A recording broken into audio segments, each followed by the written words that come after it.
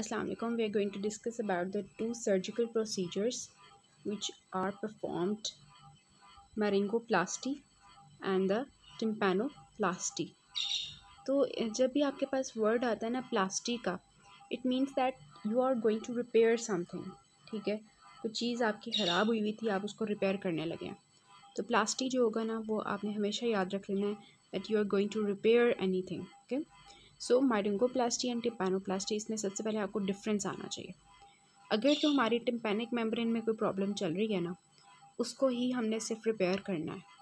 तो उसको हम कहते हैं मारिंगोप्लास्टी ठीक है? इस तरह से याद रख लें एम और उसके बाद हमारे पास टिम्पैनोप्लास्टी क्या होती है कि हमने जो है, अगर हमारी मिडल ईयर में भी प्रॉब्लम चल रही है ऑसिकल्स में भी प्रॉब्लम चल रही है प्लस हमारे पास टिम्पैनिक मेम्ब्रेन में भी प्रॉब्लम चल रही है। अगर तो टिम्पैनिक मेम्ब्रेन और हमारी ऑसिकल्स दोनों में प्रॉब्लम चल रही है दोनों में कोई ख़राबी है तो उस प्रोसीजर को हम कहते हैं टिम्पैनोप्लास्टी ठीक है? सो so, अगर सिर्फ़ एयर ड्रम ख़राब हुआ हुआ है उसमें कोई परफोरेशन है दैट इज़ मेरिंगोप्लास्टी उसको हम कहेंगे उसको ठीक करने के लिए और अगर हमारी मिडल एयर के अंदर जो है ऑसिकल्स भी ख़राब हुई हुई हैं long with the ear drum that is the tympanoplasty ठीक है? अब हम देख लेते हैं ये सबसे पहले मायरिंगोप्लास्टी क्या है, जो मैंने आपको बताया कि अगर हमारी ईयर ड्रम में कोई प्रॉब्लम चल रही होगी तो उसके लिए हम जो सर्जिकल ऑपरेशन परफॉर्म करेंगे दैट इज़ द मायरिंगोप्लास्टी उसके लिए हम अंदर नहीं जाएँगे ऑस्टिकल्स के अंदर नहीं जाएँगे, उनको रिपेयर नहीं करेंगे बिकॉज़ वो बिल्कुल ठीक हैं। सो मायरंगोप्लास्टी जो होती है ना उसमें मैंने आपको बताया कि जो आपकी परफोरेशन होगी वो कहाँ होगी? टिम्पेनिक मेम्ब्रेन के अंदर कोई खराबी चल रही होगी। अब टिम्पेनिक मेम्ब्रेन के आपको पता है पार्श फ्लैसिडा पार्ट होता है और पार्श टेंसा होता है। जो ब्लू कलर का आपको दिखाया this is the pars tensa अब मारिंगोप्लास्टी हम किस लिए परफॉर्म करते हैं? जब हमारी परफोरेशन पार्श टेंसा के अंदर हो ठीक है? याद रखना इस चीज़ को। पार्श टेंसा के अंदर जब परफोरेशन होगी उसके लिए हम मारिंगोप्लास्टी करेंगे ठीक है? पार्श फ्लैसिडा को नहीं हमने कंसिडर करना इसमें। So so, here you can see the middle ear again और इसमें हमारे पास क्या है कि एयर ड्रम है आपका और जो आपका परफोरेशन हुई हुई है होल हुआ हुआ है, वो किस रीजन में एयर ड्रम के पार्स टेंसा के अंदर, ठीक है? और हमने क्या किया? हमने मारेंगो प्लास्टिक ही मीन्स दैट हमने ग्राफ्ट जो है, वो यहाँ पे प्लेस कर दिया इस होल के ऊपर और ये ओपनिंग बंद कर दी। तो इसको हम कहते हैं मायरेंगो प्लास्टिक अब ये देखें again this is your ear drum और इसमें पार्ट्स जो टेंसा है, उसमें आपके पास होल हुआ हुआ है परफोरेशन हुई हुई है। आपने क्या किया? आपने उसको रेस किया, ऊपर की तरफ़ उठाया एयर ड्रम को, ठीक है? और आपने जो है ये ये आपको पेपर टाइप नज़र आ रहा है। This is actually the graft हम अभी देखते हैं कि ग्राफ्ट हमने कहाँ कहाँ से लेने होते हैं। ग्राफ्ट हमने प्लेस किया और वापस उसको अपनी जगह पे रख दिया। अब देखें, ये ग्राफ्ट हमारे पास उसने परफोरेशन को बंद कर दिया। So this procedure is known as myringoplasty So this is the chapter number 83 of your book Dingra which is Maringoplasty. इसमें सबसे पहले आपने जस्ट इसकी डेफिनेशन देख लेनी है कि it is a closure of the perforation of pars tensa pars tensa of the tympanic membrane ठीक हो गया? उसके बाद हम इसकी देखते हैं कि इंडिकेशंस क्या हैं। अपने जो भी प्रोसीजर्स देखने हैं ना, उसमें आपने तीन चीज़ें याद रखनी है। एक आपने जो है, उसमें याद रखनी है उनकी इंडिकेशंस क्या हैं कि हमने किस केस में सर्जरी जो है, हमने करनी है। उनकी कॉन्ट्रा इंडिकेशंस याद रखनी है। ठीक है? और लास्टली हमने देखना है कि जो हम सर्जरी परफॉर्म कर रहे हैं, उसका जो है साइड इफ़ेक्ट्स क्या होंगे, ठीक है?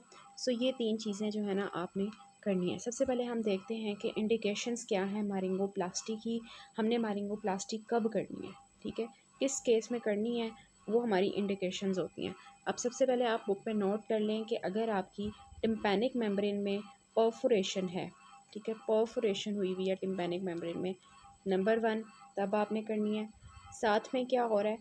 इंटरमीडियंट डिस्चार्ज हो रहा है। इंटरमीडियंट ठीक है?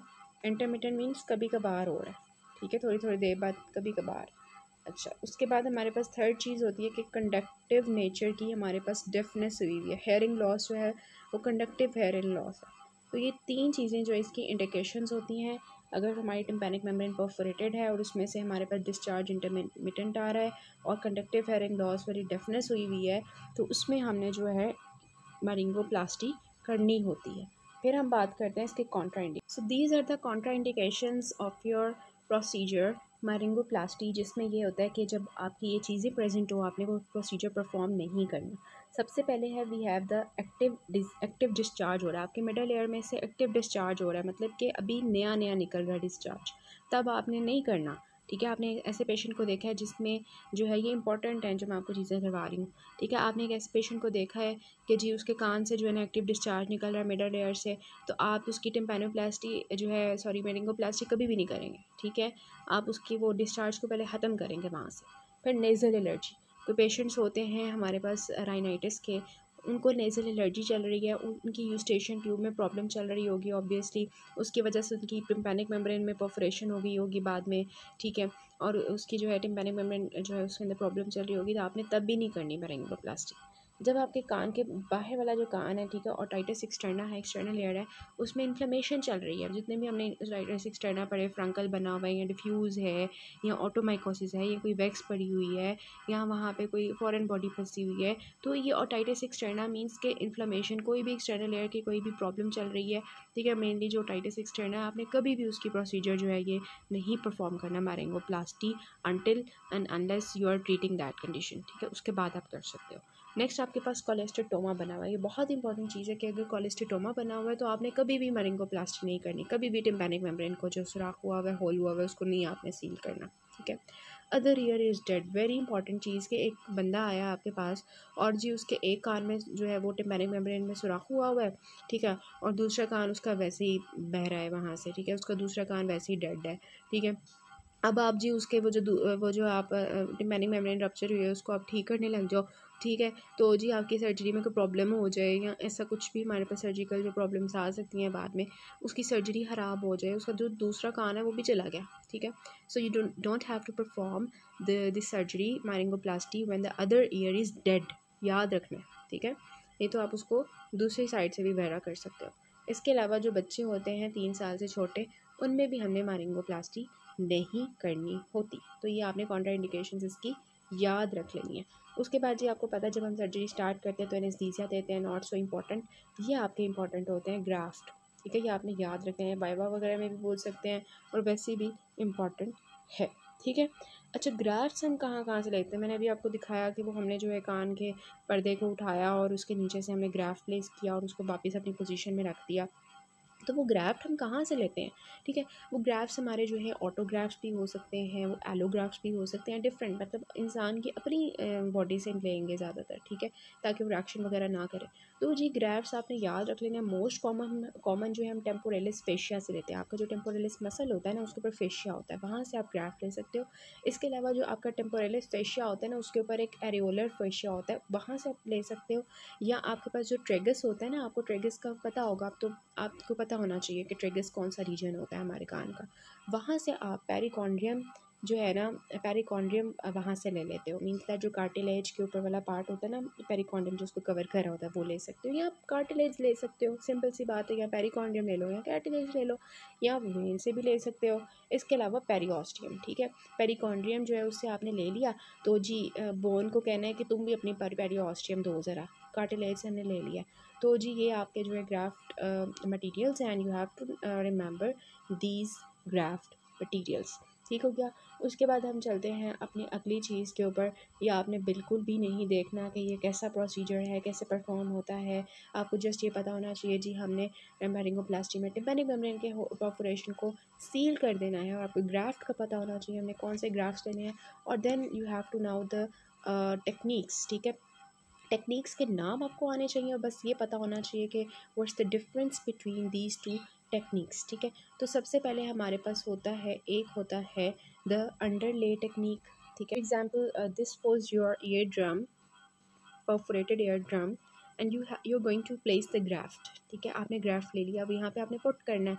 अब आपके पास दो ऑप्शंस होते हैं। ऑप्शन वन ये होता है कि आप ओवरले टेक्निक करो, ठीक है? और ऑप्शन टू जो होता है वो आपके पास होता है अंडर ले टेक्निक, ठीक है? अंडर ले टेक्निक। तो ओवर ले टेक्निक क्या होती है? जिसमें आप जो अपना ग्राफ्ट होता है ना, उसको यहाँ पे बाहर की तरफ़ जो है प्लेस करते हो, ठीक है? Sorry this is not your बाहर की तरफ़, ठीक है? दिस इज़ द इंटरनल ठीक है? अंदर की तरफ़ हम जो जा रहे हैं इंटरनल ठीक है? This is your ear canal actually ये वाला जो आपको नज़र आ रहा है, ये आपका ईयर केनाल है, ठीक है? ये आपका कान जो है ना, वो इस तरह से जा रहा है। ठीक है, इस तरह से आपका कान जा रहा है अंदर की तरफ़। This is your external ear and this is your internal ear तो आपने अपना अगर ग्राफ जो है वो बाहर की तरफ़ प्लेस किया है this is your overlay technique और अगर आपने अपना ग्राफ्ट जो है वो अंदर की तरफ़ प्लेस किया है उसको सील करने के लिए that is your over sorry underlay technique ठीक है? रिपीट कर देती हूँ दोबारा। अगर आपने ग्राफ्ट अपना जो है वो बाहर की तरफ़ से प्लेस किया है this is your overlay technique ठीक है? और अगर आपने अपना ग्राफ जो है, वो अंदर की तरफ़ से प्लेस किया है, ठीक है? उसको परफोरेट को बंद करने के लिए this is your underlay technique ठीक हो गया? So overlay this is your overlay and this is your underlay ठीक हो गया? यहाँ पे कौन सी टेक्निक परफॉर्म की गई है? यहाँ पे अंडर ले टेक्निक परफॉर्म की गई आपको पता होना चाहिए, क्योंकि ये अंदर की तरफ़ हमने प्लेस किया। हमने इसकी इंडिकेशंस भी देख ली और हमने ये भी देख लिया कि इसकी दो टेक्निक्स होती हैं और हमने ये देख लिया इसके कॉन्ट्र इंडिकेशंस क्या होते हैं। Now we going to discuss about the complications of these procedures अगर तो आपने की है ओवरले टेक्निक ठीक है? ओवरले टेक्निक मीन्स कि आपने बाहर से ग्राफ प्लेस किया है एक्सटर्नल ईयर से तो वहाँ पे आपको पता स्किन होती है हमारी। तो स्किन जो है, वहाँ पे एपिथेलियल पर्ल्स बन सकते हैं, ठीक है? मतलब कि आपने ग्राफ प्लेस किया और उसके पास, उसके ऊपर कोई रिएक्शन हो गया जिसकी वजह से क्या हो गया? वहाँ पे एपिथेलियल पर्ल्स बनना शुरू हो गए। या ऐसे हो सकता है, दूसरा जो आपने याद रखना है कि वहाँ पे हमारे पास क्या हो सकता है? लेटरलाइजेशन हो सकती है ग्राफ्ट की। कि आपने जो ग्राफ प्लेस किया वो अपनी जगह से हिल सकता है, ठीक है? मतलब कि आपको पता है ना कि आपकी जो टिम्पैनिक मेम्ब्रेन होती है ना, उसकी यहाँ पे हैंडल ऑफ़ मेलेस होता है, ठीक है? ये हैंडल ऑफ़ मेलेस होता है। फॉर एग्जांपल आपने यहाँ पे ग्राफ प्लेस किया ठीक है? और वो हैंडल ऑफ़ मेलस की वजह से ना, वो हैंडल ऑफ़ मेलस ने उसको जो है ना, धिक्का दे दिया या मतलब उसके साथ उसका कांटेक्ट लूज़ हो गया। ठीक है? कांटेक्ट जब लूज़ हो गया क्राफ्ट का तो वो अपनी जगह से हिल के साइड पे हो गया मींस दैट लेटरलाइज हो गया। ठीक है? लेटरलाइजेशन मींस के ग्राफ्ट अपनी जगह से हिल सकता है।